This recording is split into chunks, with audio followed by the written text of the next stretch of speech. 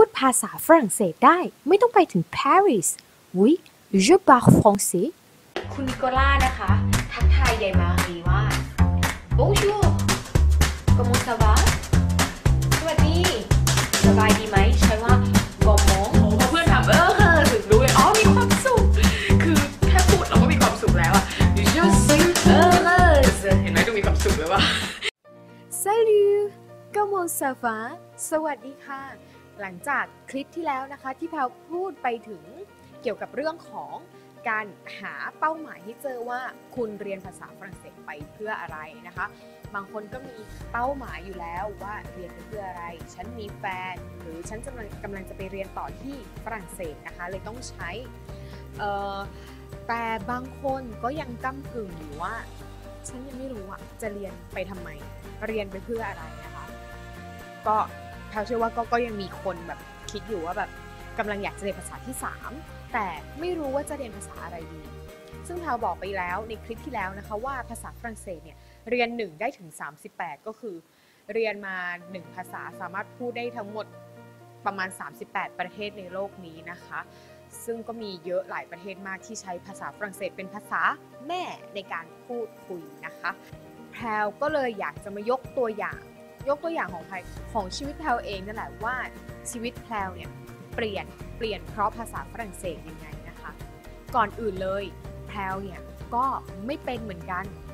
เริ่มเริ่มจากศูนย์เหมือนกันนะคะ ภาษาฝรั่งเศส ที่แพลวเคยบอกว่าแพลวเรียนมา 7 ปีนะคะภาษาฝรั่งเศส แต่พูดไม่ได้เลย ก็คือเรื่อง grammar เนี่ยเป๊ะนะแต่พูดไม่ได้ฟังไม่ออกนะคะ จนจบมาปุ๊บทำงาน เราก็แบบเออทำยังไงดี ทำงานเนี่ยเราก็ใช้แต่ภาษาอังกฤษนะคะ ซึ่งภาษาอังกฤษทุกคนก็พูดได้ เราไม่กล้าเขียนลงไปในเรซูเม่ว่าฉันสามารถพูดภาษาฝรั่งเศสได้ เพราะกลัวเขาถามเป็นภาษาฝรั่งเศสแล้วเราตอบไม่ได้ แต่แล้วแล้วแพลก็คิดที่จะทิ้งภาษาฝรั่งเศสแล้วเรียนมา 7 ปี ฉันทิ้งไปดีกว่าไม่ได้ใช้ แต่อยู่ๆก็ฮึดมาอยู่ๆก็มีแรงอะไรก็ไม่รู้ฮึดขึ้นมาบอกว่า เอาสักตั้งหนึ่งฉันลองดูก่อนแล้วกัน จะเปลี่ยนงานนะคะ เขียนลงไปว่าพูดภาษาฝรั่งเศสได้ แล้วก็วันสัมภาษณ์ก่อนสัมภาษณ์คืนนึงไปนั่งฝึกนั่งท่องท่องแบบว่าเออเป็นภาษาฝรั่งเศสพยายามคิดว่าเขาจะถามเรื่องอะไรเป็นภาษาฝรั่งเศสนั่นนะคะเป็นจุดเริ่มต้นที่ทำให้แพรวเนี่ยเริ่มกล้าพูดภาษาฝรั่งเศส ซึ่งการพูดภาษาฝรั่งเศสได้ มันเหมือนเป็นสิ่งที่พิเศษนะคะ คนอื่นที่เขามองเห็นว่าเราพูดภาษาฝรั่งเศสได้เนี่ยเขาจะแบบอู้ว้าว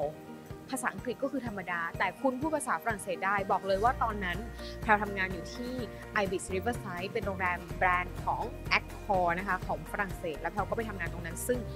ลูกค้าฝรั่งเศสเยอะมากนะคะ แล้วแพลวได้พูดทุกวัน แล้วก็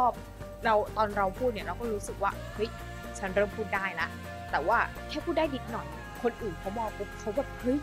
อพูดได้เธอพิเศษ เป็นคนเดียวในโรงแรมที่สามารถพูดได้ นอกจาก GM แล้ว เธอเป็นพนักงานคนเดียวที่พูดได้ มันทำให้เรารู้สึกว่าเฮ้ยเราก็ทำได้นี่หว่านะคะ ซึ่งตรงนี้เนี่ยเป็นสิ่งที่แพลจะมาพูดในเรื่องต่อไปก็คือ ภาษาคือทักษะ แล้วสิ่งที่เรียกว่าทักษะนะคะ เราสามารถฝึกฝนกันได้ คนเก่งนะคะเขามาจากคนที่ไม่เก่งมาก่อน ดังนั้นทุกคนเนี่ยฝึกฝนได้ บางคนถามเข้ามาเนี่ยยากมากเลยทำไม่ได้ ยากมากเลยฉันจะเรียนได้หรอ ไม่มีพื้นฐานมาก่อน จะเรียนได้ยังไง ตรงนี้เนี่ยเราอยากให้ทุกคนปรับความคิดก่อน ต้องเคารพตัวเอง ต้องเชื่อตัวเองต้องรักตัวเองเยอะ ๆนะคะแพลเนี่ยรักตัวเองมาก คือแพลจะให้เกียรติตัวเองทุกครั้ง ให้เชื่อตัวเองทุกครั้งว่าฉันทำได้ ฉัน สามารถทำได้ทุกอย่างไม่มีอะไรเกินความสามารถฉัน ถ้าฉันพยายามมากพอนะคะ แพลวเนี่ยจะบอกว่าเวลาสอบทุกครั้งเนี่ยแพลวจะเชื่อว่าแพลวสอบติด ต้องเชื่อก่อนเลยว่าฉันสอบติดแน่นอน เวลาสัมภาษณ์งานฉันได้งานแน่นอนแพลวสอบติดทุกครั้งแพลวสัมภาษณ์งานแพลวได้งานทุกครั้งนะคะเนี่ยมันเป็นสิ่งหนึ่งที่เราเชื่อตัวเอง เราให้เกียรติตัวเองว่าเราทำได้ ดังนั้นก่อนที่จะเรียนภาษากับแพลวนะคะแพลวอยากให้ทุกคนเนี่ยมาปรับความคิดกันก่อนว่า ให้เชื่อตัวเองก่อนว่า คุณสามารถทำได้ คุณสามารถเรียนได้ ไม่มีสิ่งไหน ไม่มีอะไรในโลกนี้ที่คุณทำไม่ได้ ถ้าคุณยังไม่ได้ลองนะคะโอเคอะก็ลองเชื่อตัวเองก่อน วันนี้กลับบ้านไป ไปพูดกับตัวเองเลย ฉันทำได้ ฉันเรียนได้ ไม่มีอะไรยากเกินความสามารถฉัน ให้ต้องฝึกให้เป็นคนที่ strong strong นะคะ มั่นใจในตัวเองนะคะ โอเค เรื่องที่แพลจะพูดต่อไปนะคะ ก็เป็นเรื่องที่จากการที่แพลเนี่ย เปิดเพจมาแล้วประมาณ 3 เดือนสามเดือนได้ละอ่าแล้วแพลก็ตอบคำถามทุกวันทั้ง inbox แล้วก็ทั้งใต้วิดีโอแพลรู้สึกว่าความรู้แพลเนี่ย มันต้องถูกจัดระเบียบละ ความรู้แพลวเนี่ยมันจะต้องถูกจัดระเบียบแล้ว เพื่อที่จะได้ส่งต่อให้กับทุกคนที่ต้องการเรียนจริง ๆ จังๆ เพื่อที่จะพูดได้ฟังเป็นนะคะภาษาฝรั่งเศส ในเรื่องนี้เนี่ยเออคือ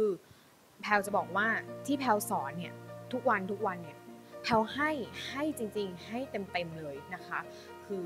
แพลเนี่ยไม่กักอยู่แล้ว แพลอยากให้ทุกคนพูดภาษาฝรั่งเศสได้ แพลอยากสร้างสังคม ขึ้นมา อยากสร้างสังคมสังคมหนึ่งที่เป็นสังคมของพวกเรา พวกเราที่พูดภาษาฝรั่งเศสกัน เวลาเราอยากพูดอะไรที่มันเป็นภาษาฝรั่งเศสเรารู้กันอย่างเงี้ยเราเหมือนแบบเฮ้ยเรามีเพื่อนอะเออมันทำให้รู้สึกว่า การให้เอาจริงๆนะการให้เนี่ยแล้วเห็นคนได้รับมีความสุข คนให้เนี่ยมีความสุขกว่านะคะอะแล้วก็ยังพูดไม่จบจะบอกว่าความรู้แพลวเนี่ยจะต้องถูกจัดระเบียบละ ซึ่งเป็นยังไงนั้น คลิปหน้าแพลวจะมาบอกข่าวดีค่ะ โอเค เจอกันคลิปหน้านะคะ à la prochaine au revoir